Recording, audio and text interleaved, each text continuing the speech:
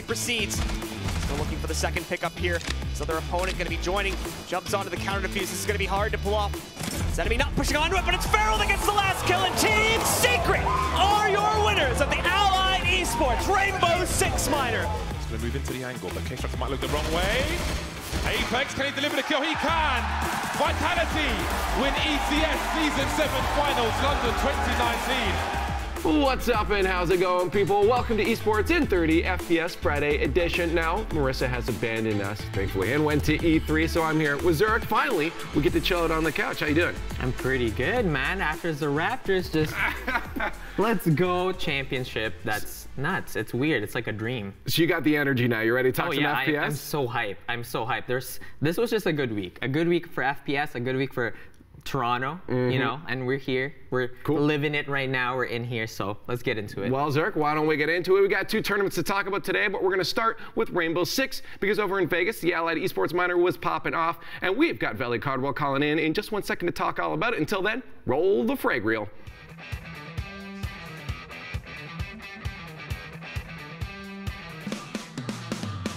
And the top side control has been phenomenal. And Leon turns around into Leaks PSK. Able to But moving oh. in, right, he's gonna be able to walk in right behind him, able to sneak up a kill on Julio. Oh my God! All of a sudden, NIP is just folded like a lawn chair. All four down. Get it home, but Bolts is getting Oh, aggressive here. He's gonna take down Moringa. Thinking he's gonna stick this. Ness gonna find Charla. It's all going down right now. Ness claims No! yet another. That's Nesk inside of the site. It's the line in the corner as well. It's another down coming in. The Oh, interrogation! Let's see it. There. And the last player from 92 Dream Team is going to be revealed. They know exactly where the Dokkaebi is going to be at. Coach, just a little bit. Moringa's gonna get the kill on Bosco. This is gonna be the 1v1. It's gonna be all of the votes. Bolts! Bolts gets the clutch. The first kill is gonna come to Revan. But Leon, he's gonna go ahead and get the refrag, giving the odds and the diffuser's going Oh. down already with a minute 23 seconds left to go. As oh Leon Oh, gets yet my. another kill. The F2 is putting in work. and Look at looking that. for the 30s, unable to get in. Surboss shuts him down, leaving Penta in a 1v3. Rogue's power continues to decrease. An aggressive push from Shuttle. It works out well. He knows the plant's Wow. happening too. He's going to be able to pick up two more off of that. 3v2 for NIP, even do a 2v2. Here we go. The diffuser's going down. Diffuser's down. He's gonna have to Oh my! There, when you talk about cutting it close, They, they played it perfect, this team, he can clutch it and bring it Bottom home. line, no, bottom line goes for the run now. He's gonna get taken out. Rad Group goes down as well, leaving one player. Wow, there it alive is! for Chaos. the first kill. Does get them off the fuser. Lines it up. And I believe he's nearly done it. Acid going to be very low now and try to pull this off with the time. He could just play into that. No, no, Acid gets it anyway. Rise, steal the round. Let's try and quickly shut this down. We're going to see Don't fake. Asphyxiation Bolt Bro, move in. don't It's not enough damage. They're not going to be able to get it. All team. one. Straight to his left. Running in with oh my God. Able to get a double kill. Oh. Bosco taking out Crips. And Red Group. Sweet. With a player Jesus. outside the window, he knows it. Got Red's him. gonna jump in. Bosco's gonna get the 3K. It's Way down, we can see Corey trying to get into position over by Piano. They have the hard ping onto the planter. Are they going to be able to find the kill in time? He gets some, but unfortunately, he's not going to be able to stop the plant from happening. Still managed to get the down, immediately drops on, confirms the kill. He's wedged himself, though, whether he realizes it or not. He's got to be very careful about how he proceeds. Still looking for the second pickup here. So their opponent going to be joining. Jumps onto the counter defuse. This is going to be hard to pull off. Zenemy not pushing onto it, but it's Ferral that gets the last kill. And Team Secret are your winners of the Allied Esports Rainbow Six Minor. It's been a tough 2019 for Team Secret, but I'm sure they're feeling just a little bit better now that they've hoisted that trophy. On the line with us to talk Secret and all things from the Allied Esports Minor, we got Velly. What's up, buddy? What's going on, man? It feels great to be here. Thanks for having me on. No, thank you for joining us. Because our uh, pleasure. th- th- that event was was pretty interesting, you know. But uh, we, you have to start from the top, obviously, Yeah. with Team Secret, Secret, man. because they just took this entire uh, tournament by storm. Uh, they really needed this win, considering their 2019 showing wasn't really. You know that good, but how did disappointing. yeah, a little disappointing. But how did a team come together in this land to take it all? I mean, so pretty much you you hit the nail on the head. They they were pretty trash coming into this tournament, man. Um, no, just playing, but um, they they've gone through some hardships. It was pretty much growing pains. You had a player retiring, and they had two new pickups, and then they were relegated outside of Pro League. So the whole team was just looking down. Coming into this event, no one really expected them to do as well as they did, but their story was phenomenal. The fact that they were able to go throughout the entire tournament, lose only one map, and that was in the finals, mm-hmm. and winning that, it, it, was pretty much like a rebirth story, and it was beautiful, man. If you ever watch these type of tournaments, you always want to root for the teams with the best stories, and it, it was perfect. Well, can you, can you talk to me about uh, part of that story then? Um, excuse me, was was Ferral, um, who's uh, I was told recently was an analyst for G2. Can you talk to me about uh, his performance at this event? and how he fit in. Ferral was insane. So the star of the team that everybody watches when it comes to kills is Leon. But behind Leon, or right next to Leon, was the newcomer Ferral. And he had so many clutch moments and closed out big rounds. When you look at Siege, is like you can see his personality through his gameplay. He was an opportunist. Whenever he saw a big opportunity, he came in, clutched around, and went absolutely big for his team. So you gotta love Ferral. And him I believe he was a tryout for Team Secret, and after they won this tournament, I think he's officially on the team. So you'll love to see it. Now, uh, on that note, I, I, I feel like in most esports, generally, you know, the commentators, analysts, and that have a decently high skill level, but I feel mm-hmm. like in R6, it's almost like required. And I feel like most of these, you know, analysts, casters, and everybody can almost jump in and start playing. Is that true? so I can't speak on behalf of everyone else that can because I suck and I'm the new guy. but um, the one thing that really drew me into Siege is that coaches and people that are really smart at the game, they can jump in and be amazing. Yeah. Um, for instance, my very first Rainbow Six event was in December at the U.S. Nationals in Las Vegas, and Evil Geniuses, the number one team in NA, one of their players couldn't show up, one of their best players yeah. couldn't show up. So their coach filled in, yeah, and their coach, yeah, their coach was like the best player of the entire tournament. So that's pretty much the appeal of Siege is is less of being just a savage with your gun and more of who's the smartest person on the field at the moment. And mm. that's why it's appealed to most of the fans that we have today. That, that's cool. I, th- I, think it's really cool. It's like um, it also helps the team save money because your coach is also your sub, right? yeah, he's already part of the payroll. Yeah, yeah, yeah, yeah. Uh, speaking of popping off and and players playing really well, the entire um, Europe pretty much just popped off. Mm. Stream and Chaos had solid showings. Uh, break down EU strong showing here in Vegas.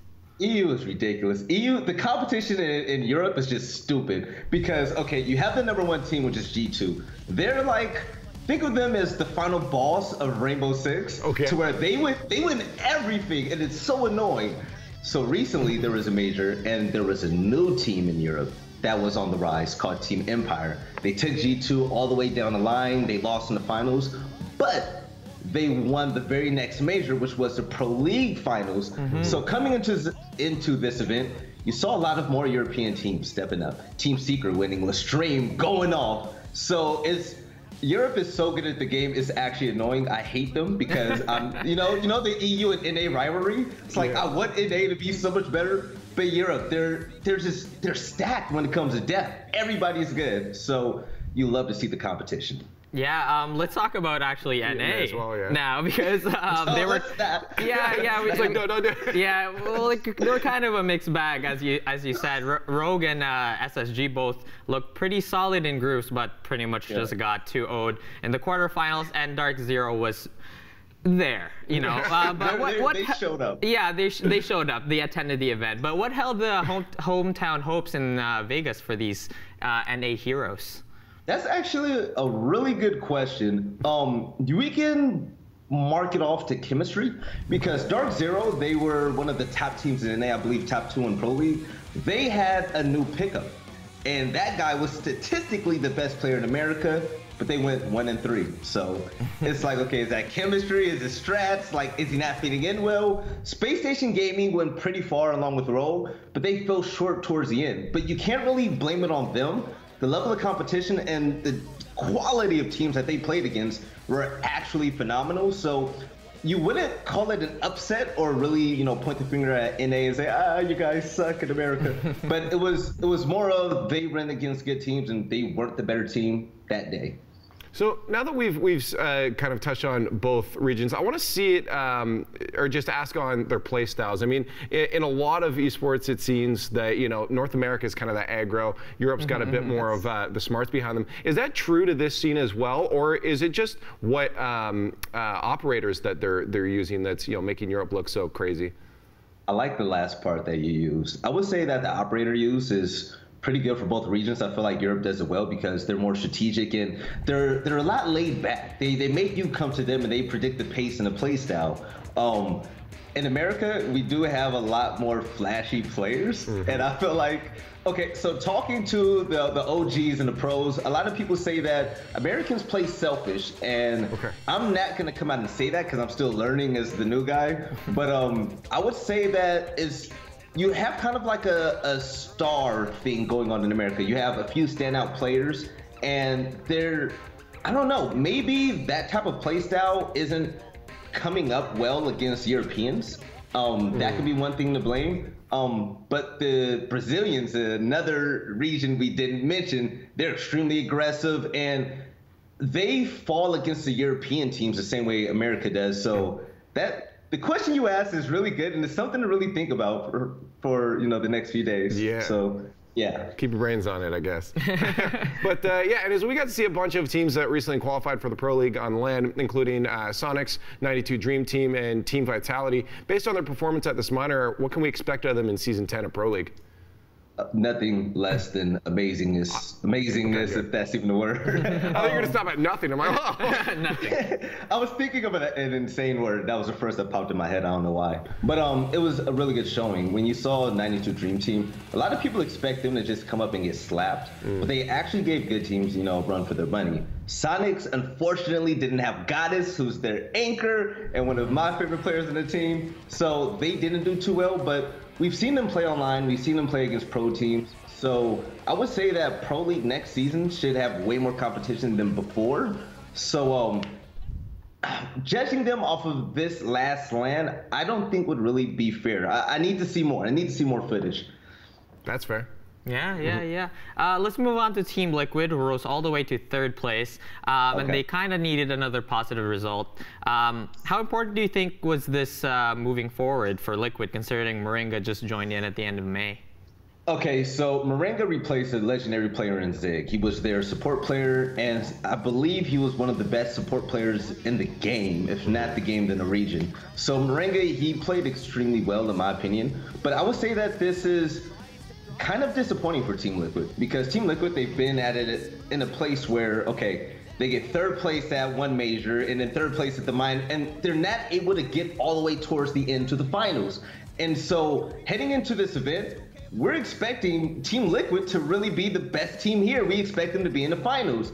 Um, being the last Latin American you know representative in the semis they fell short. They fell short and it was so sad to see. Unfortunately they lost against the champions but um, Zig, not Zig, excuse me, Nesk and the others, they had such a great showing. I'm, I'm hoping that they could really pick things up because the Latin Americans in this game, they're fiery, man. Mm-hmm.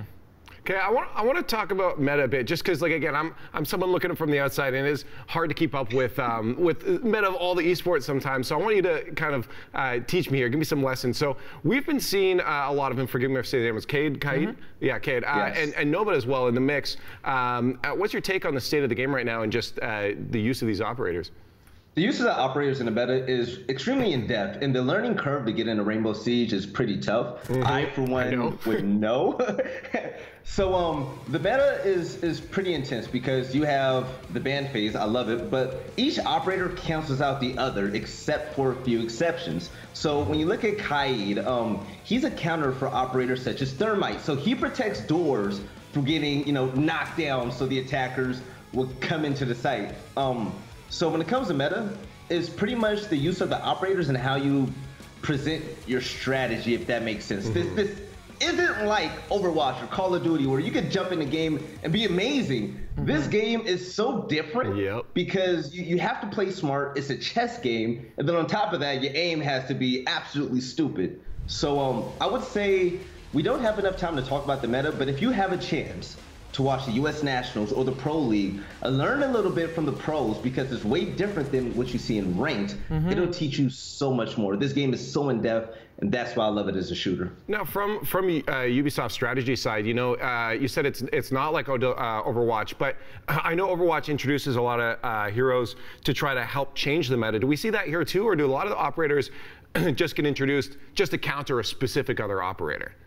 Yeah, yeah. You see a lot of okay, so you see a lot of operators that tries to break the meta, but also we see a lot of operators that mimic old operators, but they're like a 2.0 version. Okay. So Kaid is like the Kaid is Bandit on steroids to where mm-hmm. they both can electrocute walls and stop thermite charges from going off, but Kaid could throw them from a distance. So it's kind of like an evolution in operators to further along we go in the game. Mm. And luckily, we started a new season where we have two new operators. One operator is on defense, he can see through smoke and flashbangs, which counters a lot of annoying operators like Blitz and Ying. And then you have another operator where cameras can't see her on attack. So the meta is consistently changing, and yeah, that's pretty much it. Oh yeah, by the way, Mozzie is finally out, and the way he's gonna change the meta on defense is gonna be amazing because we now have a true slaying roamer that can do just about everything. So, um, now, uh, I, I, don't know. Like, if I'm to jump into this now, like, what are there? Are there any Good like luck. clear? Yeah, yeah, right, right. Are there clear any clear OP picks that I should be playing and looking at right now? Because I, yes. I, again, I usually go for aggro, but I think that's just because I'm from North America. No, but I feel like I shouldn't got, be doing that. You gotta be a main nook now in offense. That's it. Yeah, yeah, exactly. Okay, if you come into the game now, you can't run again. If you run again, you're gonna get destroyed. You're gonna get bodied like every single round. Yeah. Um, a, a few OP ops if you want to get used to the game. I would say Echo on defense. Mm-hmm. He's insane. Echo and Maestro on defense. That way you can play the game at a slower pace, learn how to use your utility and special abilities better. For instance, Echo has these invisible drones that stun people, which is okay. amazing.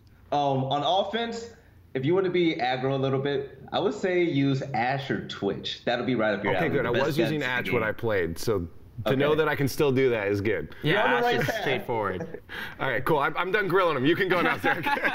um, uh, okay, well, let's talk about the minor in in in general here because uh, minors like this are very important for the community, especially for you know trying to get into the scene like us here, mm -hmm. you know, and and like the people who are at the top of the ladder and trying to become uh, a pro in the scene. So talk to us about how important these minors and smaller tournaments are, and what is is its bigger part in in uh, or what's what does it bring towards the bigger part of the R6 scene? It's pretty simple. Um, back in my day, I was a pro gamer, um, and just the um, the grind to get to the top is, is extremely hard. It's extremely hard. Mm-hmm. So when you have these major events with five hundred thousand dollar prize pool, a million dollar prize pool, and you're not on the pro team, you you kind of want to give up because most of these tournaments are in, you know, invite only. When you have a ton of minors out there, such as the DreamHacks or the Allied Esports minor, it allows teams that aren't on that pro level yet to still come in and compete. 92 Dream Team, they weren't in Pro League when they were when they were accepted into this tournament. Mm-hmm. So it allows a lot of up and coming teams to really show their worth and really have a chance to go to major tournaments such as the Raleigh USA Major, which is worth $500,000. So I feel like as a game in the community, we, we need more minors. We need to be able to get the unknown faces out there mm-hmm. and make them known because that's how you grow your community. And if you don't do that, then you know, what do you have? You have to count on the people that aren't just on a pro level. You have to care about the little guys too. Yeah, mm-hmm. you, uh, you, you got to have that new talent coming in and challenging everyone. Are we still stealing, seeing a lot of that new talent uh, come up and just take the spots of some of the old guard? Yes, Team Empire. They're, they're full of, you know, a bunch of young guys that are just coming into the league and tearing everybody up. Mm-hmm. Um, you see a lot of new faces, and being one of the new guys as a caster, I came onto the scene along with Spartan, the old Halo. Yeah. No, the Halo Pro. I'm not gonna say the old Halo Pro, the Halo Pro. And watching players like him excel and get so good, so damn fast. It's like, oh my god, man! Like, there's a lot of new people coming to the scene, and this game is blowing up. When you rate this game against other esport titles, this game is always, always, always climbing that ladder. Mm-hmm. So I would say that competition from this point on is just going to be phenomenal. It's going to be amazing, and that I want to see more faces at these minors. That's awesome. That's that's so, so sick exciting. to hear, man. But Velly, we are out of time, so thank you so much for calling it today and sharing your knowledge with us. Keep killing it on that mic, and we'll be talking to you soon. All right. Uh, most definitely. First, if I could say one last thing, Do I, it. I really want to thank you guys for bringing me in, talking about Rainbow Six Siege, one of my one of my loves. Hearts to you too, man. But um, I want to thank you guys. I love your show. I watch it a lot. I know Marissa's not there, but shout out to Marissa. I miss you. We work together in Toronto. But um, yeah, hope you guys have a good rest of your show, and hopefully I can see you again soon. Awesome, bless. We'll just make sure we don't show her that. We can't praise Marissa at all. Anyways, don't go anywhere because that wasn't nearly enough FPS action. We're going to chat about the ECS Season 7 Finals in just one second, so while you get ready, why don't you check out these highlights.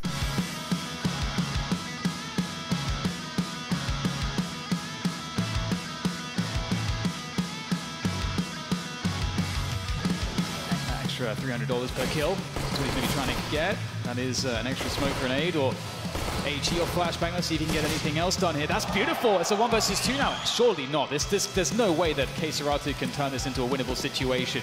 There's still two players there. Flashbang out. Goes for another peek. Apex turns away. Can't quite find it. There it is. Alex lost Flossman standing! KSCERATO! Would you believe it? Taking down Apex. All of the advantage gone. Now it's on ZywOo to try and save it. And he's picked up the one almost chasing Damn. him through the smoke. That would have been it. He's got a minute. He can go a lot of places with this. He could go towards A yes. still. He could bait this out. They're both towards short. Breezy's low as well. And these are the sort of rounds ZywOo is a specialist in. Oh, the grenade is beautiful. Oh, he's going to line them up. He's done it! Again. You know there's nothing left, but still they walk outside. It's so sick. And Dabs also, what's going on? How is he alive? No! It's now down to a three versus two with the bomb is ticking at some pace now. Flashbang, incredibly useful for them. Xyp9x not really in an ideal position. He'll be taken down. The P250 to finish off the job here. Oh my god, through the smoke! Oh, he unscopes at the wrong time. Stereo frags Furia. What the hell is going on? Suddenly it's a one versus two for yuurih. He's got a sound cue, so he sees the trajectory. He knows where Gade is roughly one of the two players remaining. He's looking for the frag. This is charging in one by one. And now it's 1v1. They could play the bomb but they chose to try and play timing instead, and now it's just Gay to try and defend this. Creeping forwards. Oh, he's nailed it! He sees one player towards that position, and AZ's going to pick up the kill onto VINI, so North off to a good start. AZ, another frag. It's looking really difficult here for Furia. AZ, he's got himself all five. That is incredible. One of the most overlooked positions in CSGO.